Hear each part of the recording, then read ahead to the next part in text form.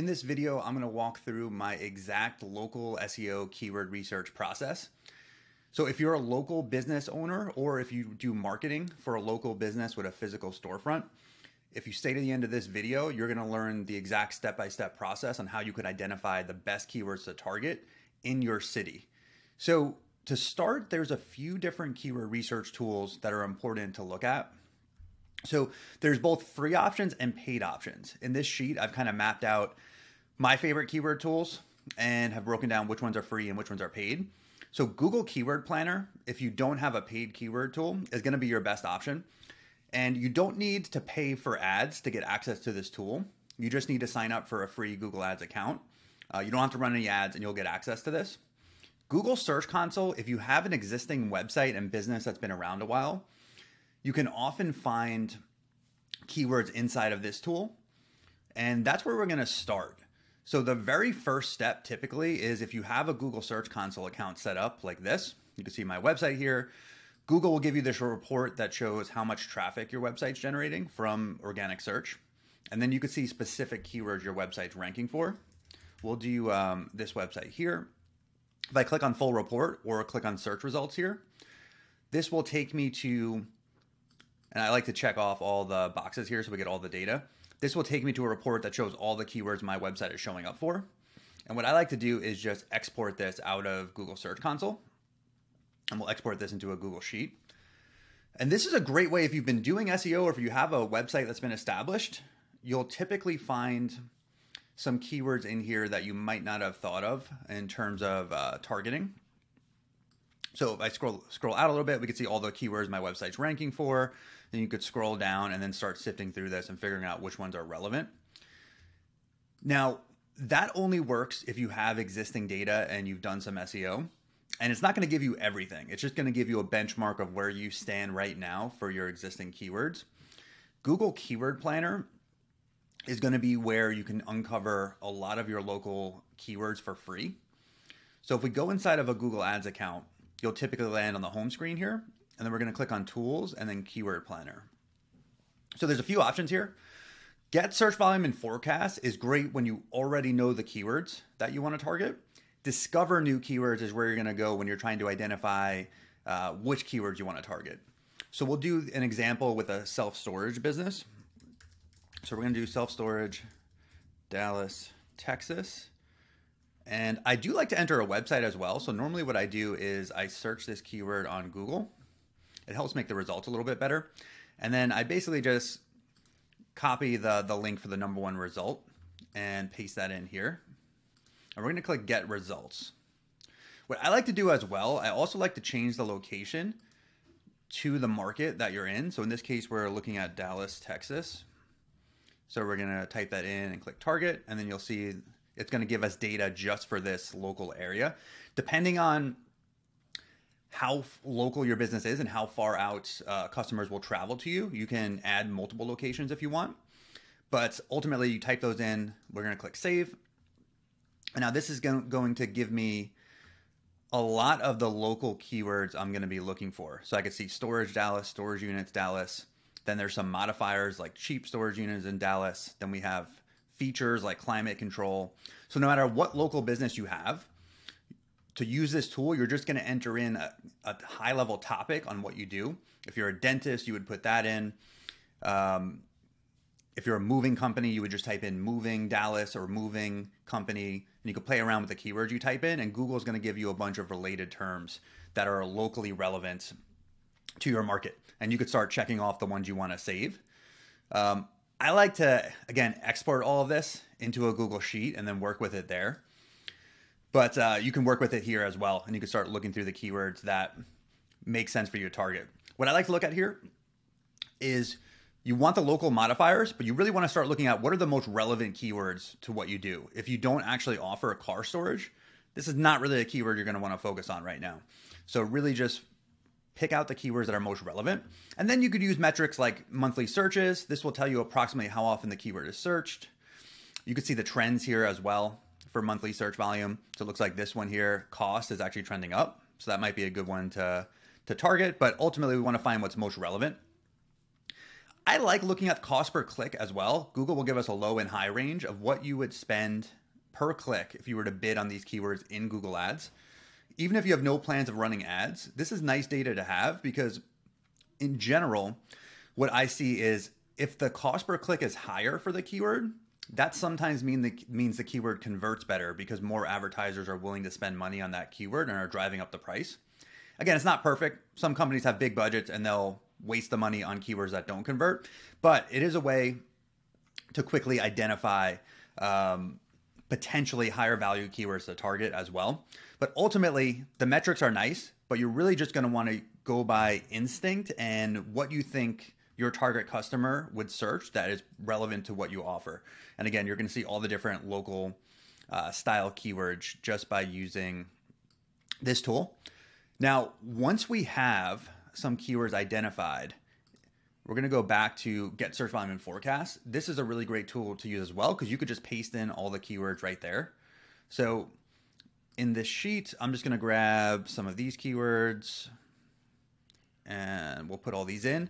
So if you already know the keywords or you've done some research, you can paste all these in and then you could just get the data behind each of these. And again, same thing. I'm going to want to, and we'll pick a different market for this one. We'll do Austin, Texas, and we'll click target and save. And then now you'll see the monthly, monthly search volume and all the metrics change for this market. So it's a really good way to see how many people are searching locally, particularly for keywords like this, where they're not typing in uh, the keyword they're not typing in the city. They're just typing in the word storage or storage facility, but this these searches are filtered down to the Austin area. So a lot of times with keyword research tools, when you can't filter by location, you're going to get the volume nationally and it'll show that this is getting hundreds of thousands of searches, but that's not taking place in your city. So it's important to use this location feature to make sure it's relevant to your market. Same thing with near me searches. Near me keywords for a local business are going to be some of the most important keywords. So whatever your business does, and then appending near me. Again, this is going to give you the real uh, search volume data, which is going to be important just to get a feel and understand how many people are searching. So this is really all you're going to need to do, and then you could export these keywords. And then once you have your local keywords identified, the next step is to figure out how you're actually going to rank for those keywords. And there's really two tactics from a content standpoint. It's either you need to create new content because you don't have any content on the website that's relevant, or you already have a page and you need to optimize and improve it. And in terms of on page SEO, those are your two main uh, tactics you can pull from. Then once you have a page optimized or you've created a new page or post specifically for these keywords, then it comes down to typically your website authority and link building. So that's something we'll save for a later video. But just starting and understanding which keywords that you want to target is going to put you ahead of a lot of your competitors who aren't spending the time to do this research. So there's other tools as well, like paid tools, and we'll cover those in case uh, anyone is using SEMrush or Ahrefs. Those are my two favorites. Um, so those those are my two favorites in terms of paid tools, but we'll get to those. Now, I also like to build out forecast tools like this. What's cool about this template here is you could paste in all your local keywords, and then all you need to do is take the volume and then the cost per click low and high range from the Google Keyword Planner, and it'll forecast and this is more of an ad forecast. How much clicks you could approximately get, the range of how much you could spend on each keyword. So this is useful in calculating what your ad budget could be. Uh, then you can see conversions, low and high. In this case, we're looking at storage units, so it's rentals. But if you're uh, a moving company, this would be leads or phone calls. If you're another type of business, it would just be whatever your conversion is. And it will actually also forecast your cost per lead or cost per conversion uh, in four different scenarios. So this could be pretty helpful to start forecasting what it's actually going to cost you to get leads or conversions in your local market. And then what's nice about this, it shows you how you can actually optimize and get your cost per conver- conversion down. Because in this first scenario, we're looking at if the CPC is high and we have a low conversion rate, then we're looking at if we can improve conversion rate. Then we're looking at if the CPC is low and our conversion rate's low. And then the best scenario is we have a low cost per click and a high conversion rate. Um, so this is just a nice to get a rough feel for approximately what these keywords can deliver on Google Ads, and you could also use that data to inform what you might want to target on SEO as well. So working in spreadsheets is nice because you can build out some of these uh, templates, and then all you need to do is input a little bit of data to run all of this automatically. So typically, after you have uh, local keywords identified, like we spoke about earlier, you're going to want to optimize existing pages uh, or create new pages. And this is one example. I'm just pulling uh, from a couple different storage websites, but you'll see uh, we have a bunch of different local keywords, and we found the page on that website where we should target those keywords. So we have a, a New York City page, we have a Brooklyn page here, and then a Queens page. And then typically some of the things you're going to want to look at are the tags on the page, like the title tag, the meta description, your H1 heading. Uh, we have a full on-page SEO checklist here that covers all the different things and all the different aspects of on-page SEO that you could run through for each of your pages. And this process is very important to making sure you have a page that's properly optimized. And then you could shift your focus to link building and authority building. So, in terms of paid tools, SEMrush and Ahrefs are two of my favorites. Now, with Keyword Planner, you can get basically all the keywords you're really going to need, but some of these paid tools allow you to do some additional research and get some different data that those keyword tools provide.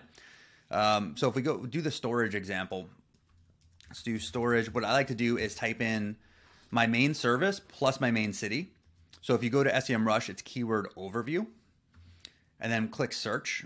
So whatever your main service or product that you offer plus your main city you're targeting will give you a good jump start on the data and some additional keywords to help you with your research. So this will pull how many searches happen, the, a difficulty score, the intent behind the keyword, some trends. Ultimately, keyword variations is where I like to go because this is where you're going to discover those new keywords uh, that you might not have thought of.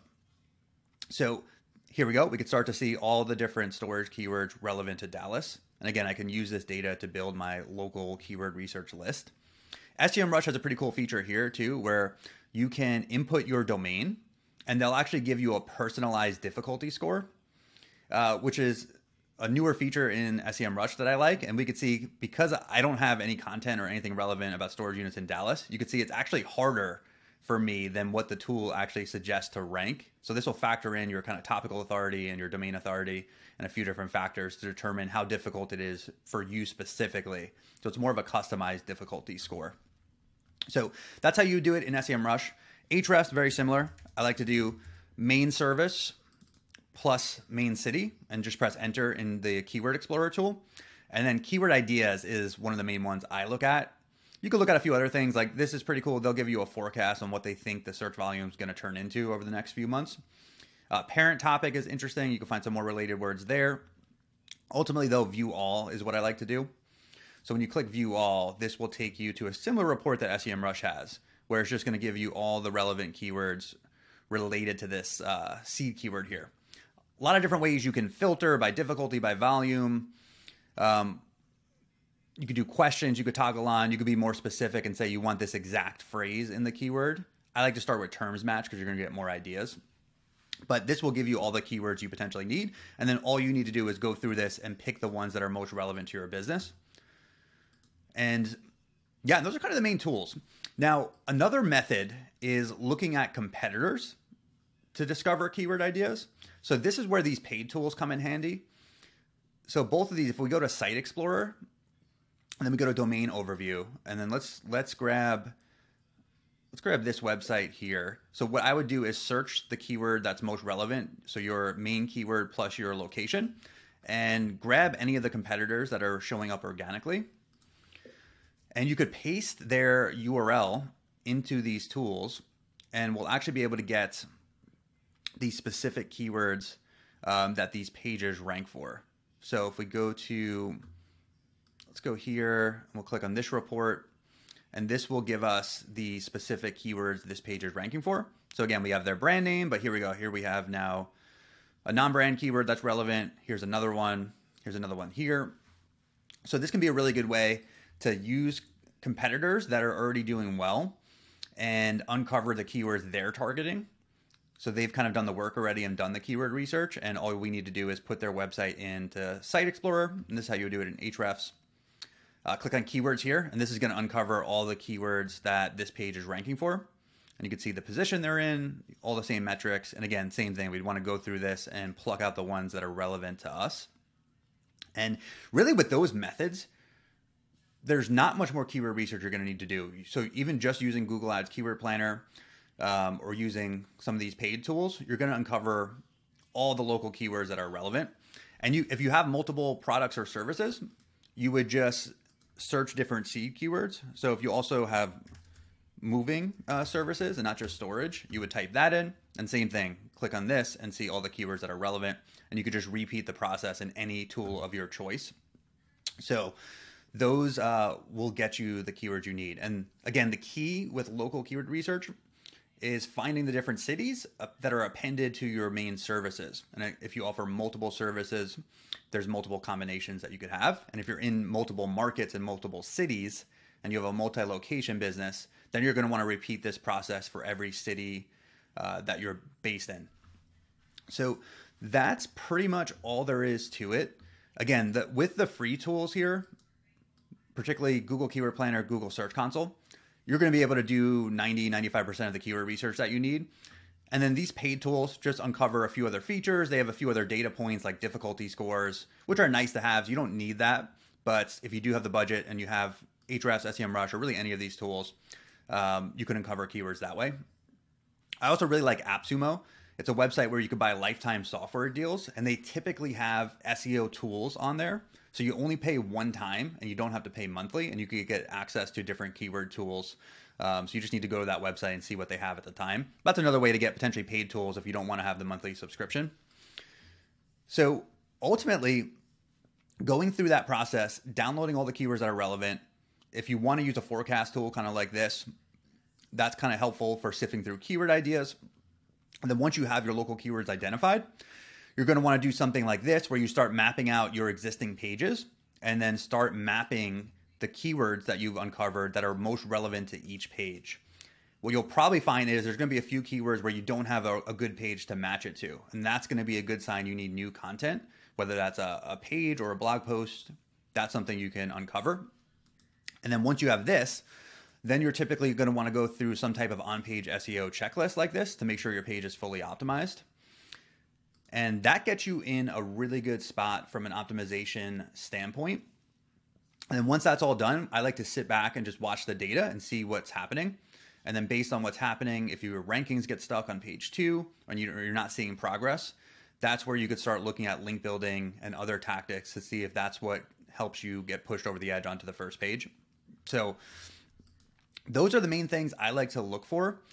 Again, if you want access to the the template we have here, just let me know. Um, this one's designed for self storage, but you can apply this template to really any local industry. Um, you would just swap out the storage words with keywords that are relevant to your service. So, like these are common categories I typically see. Like near me, you would just replace storage with whatever service you have. Then you have your city based keywords. You have your broad keywords where they're not typing in a city or near me and you just want to filter the data down to your location to see the true search volume.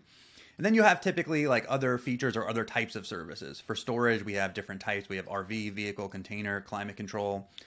Um, for other types of businesses, these might be your additional services that you offer.